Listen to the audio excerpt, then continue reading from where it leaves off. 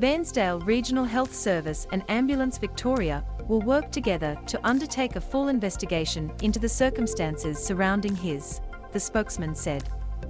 Simon Judkins, an emergency physician who works in hospitals in Melbourne and regional Victoria, said patients were coming to harm due to delays in receiving critical medical care at rural hospitals. It is unfathomable at the moment how awful it is with the delays in care and the ramping at regional hospitals, he said. Judkins said regional hospital staff were struggling to secure intensive care beds at Melbourne hospitals when they attempt to transfer seriously ill patients who require higher levels of critical care than a small hospital can provide.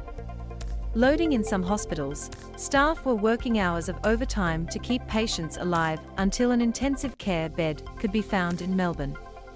The transfer service does a fantastic job to try and find beds, but the issue is often there are no ICU beds available in Metro Melbourne, Judkins, who sits on the Victorian branch of the Australian Medical Association, said.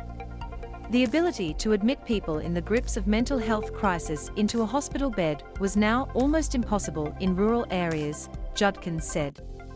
Rural Doctors Association of Victoria President Rob Phair said the at the Bairnsdale Hospital was a reflection of what happens when you have a system that is being completely overwhelmed.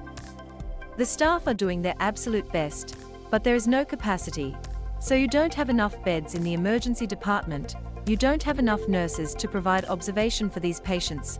Phair, who is a Bairnsdale GP and provides emergency and anesthetic services at the hospital, said. You don't have anywhere to put these patients.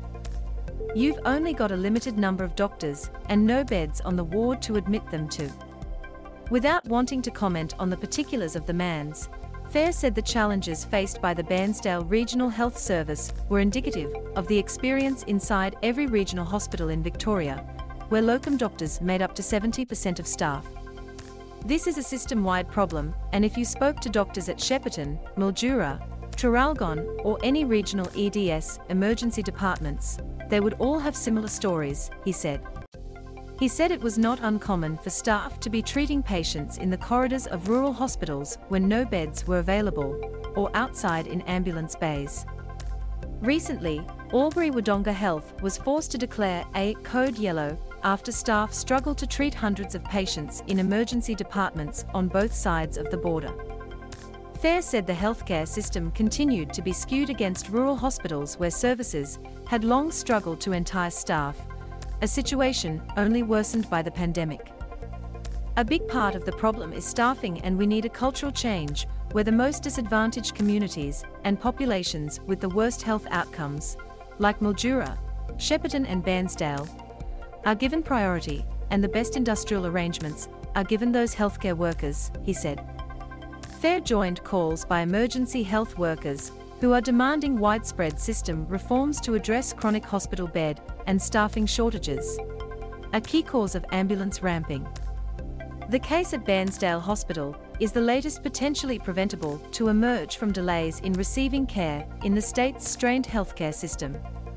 It followed revelations earlier this year that at least 12 people from critical injuries or illness after calls to Victoria's Triple Zero service were never answered or were picked up too late.